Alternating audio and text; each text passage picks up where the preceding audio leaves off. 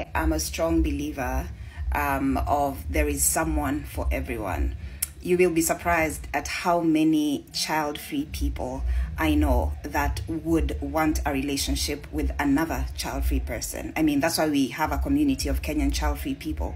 There's always someone in this world that wants exactly what you want if you want someone that believes in monogamy, you know, one man, one woman, they believe in having children, they believe in the family unit, imagine there's a guy like that, or imagine there's a woman like that that wants exactly what you want. So you don't have to settle for someone that does not want what you want if you want to be in an open relationship or you want to be polyamorous like I am, um, there's also people that are looking for exactly that. Every time I say that I'm dating two men, everyone's like, Wanajuana, because we are always used to this cheating culture. For me, this is day one conversation. Like we go on the first date and I tell you, I am not a one man kind of woman. Um, I date several at the same time. So if you feel like this is too much for you, I completely understand. I do not hold it against you.